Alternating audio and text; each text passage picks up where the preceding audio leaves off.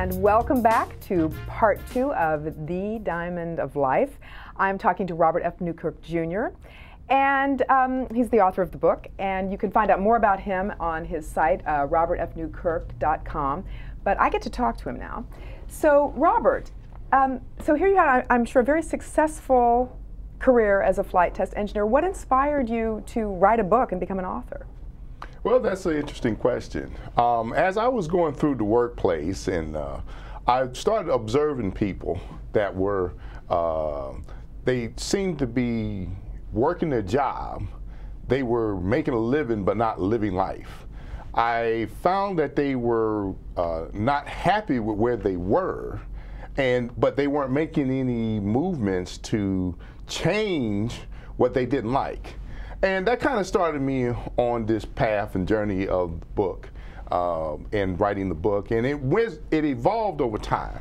Uh, after about four years, I found that uh, I, I, went to this conference, and I, my mentor, his name is Dr. Dennis Kimbro, and he was just coming out with this book called What Makes the Great Great.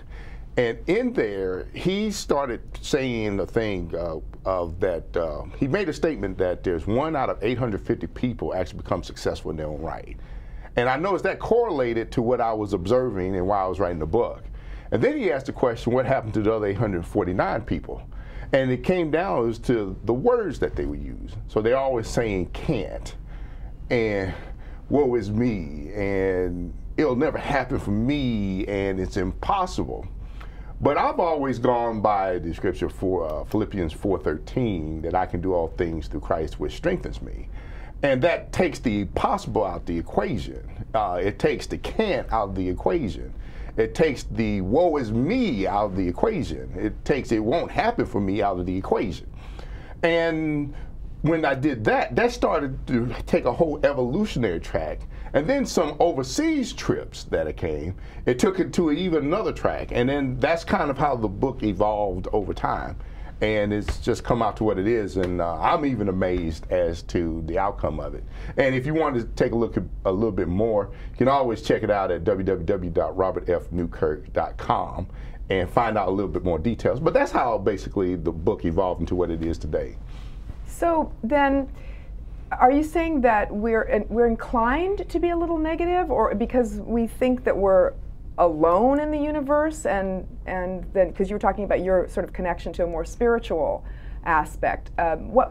So I guess my question is, what makes us sort of lean toward this negative dialogue that we have with ourselves? Well, we have to understand that uh, there are some societal aspects that cause the sabotage on a lot of people. And if you're not aware of what is actually happening, you may not be in a position that you can do anything about it. Um, if you look at my uh, the book, it covers three different principles. It talks about recognition and awareness of your situation. The second part is to question. So if you're not even aware of something that's coming to the point, you're not even in a position that you can question, which is part two. So you have to be able to question whether the situation is, applies to you, if it's good for you, if it's the, what you want, is it what you desire. And then the third part is correction. And that's the point that you take action. A lot of people will talk about, well, take action to turn change your life to where it needs to go. But if you're not even at point where you can get to step one or step two, you're no, in no position to take the corrective action that's necessary. And that's kind of where the book is. And I think that's where people get stuck in, in society a lot, is that they don't have that opportunity to even become aware and they just automatically conform to whatever the situation is. And they're not happy, but they really don't know why. And it kind of gets everybody stuck. And there's no way to really think about it if you're not even in the process of, of uh, being able to formulate and to analyze the situation. Um, that's very interesting. So I remember hearing a story one time about an ancient culture living on an island, and they looked out and they saw these waves coming at them, and they were like, "Oh, why are these waves so big? They're not like the rest of the waves." And finally, they brought their little shaman out into the beach, and they're like, "What? What is this?" And they're like, "Well, he saw a ship, but none of them could see the ship because they had no point of reference for a ship." So what, what, if you don't know that something exists, then how do you, aside from read the book, um, how do you get yourself in a position where you can go, oh, um, it doesn't have to be this way. My life doesn't have to be this way. There are two principles that are in the book that I need to emphasize right now that will answer your question. The first one is that your, the amount of education that you receive directly correlates with your boundaries.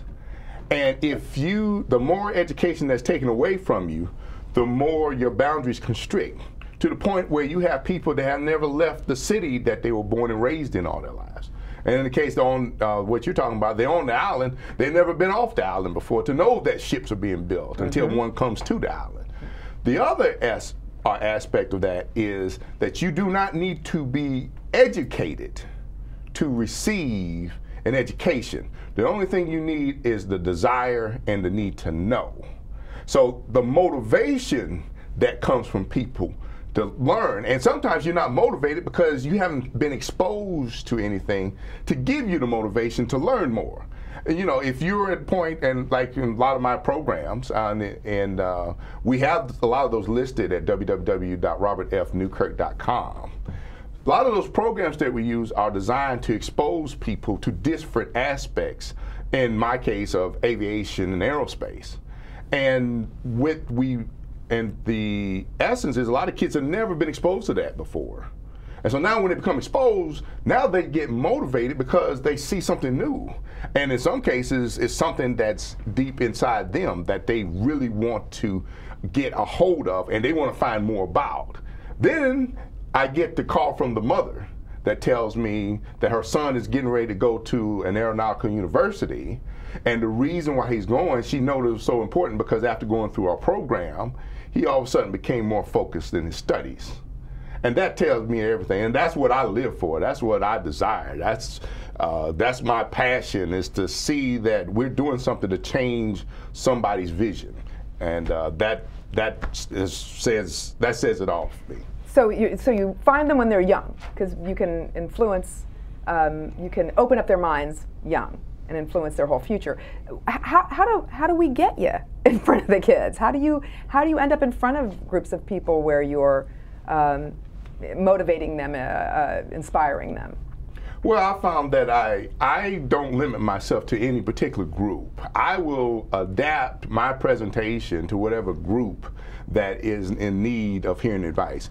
So first, go to the website www.robertfnewkirk.com, and you can request me personally, and I'll get back with you, and we can set up a date of time. Tell me what the students, the demographics, uh, what their situation is, the education level, uh, whether in high school, middle school, college and uh, I will put together a program that's tailored specifically for the group of students that you're looking at. Uh, I have a, several messages that I have to give to the students, but I can always find a way to tailor it to theirs specifically, even if it's right on the spot and I'm looking and asking them questions or finding out that a lot of them are athletes or a lot of them are in academics or they're all the above or it's a mixed group of students or it's one particular demographic of students, uh, it's all male or female, it's mixed um, I'm able to do that. So um, all you need to do is just go to the website www.robertfnewkirk.com and put in a request, and we'll take care of everything else, and we'll get out there and uh, and uh, take care of whatever needs to be needs to be addressed. Well, there's so much more to talk to you about, and I want to have time to do that. So we're going to come back in a third installment and have a little more conversation with Robert F. Newkirk. So join us on part three.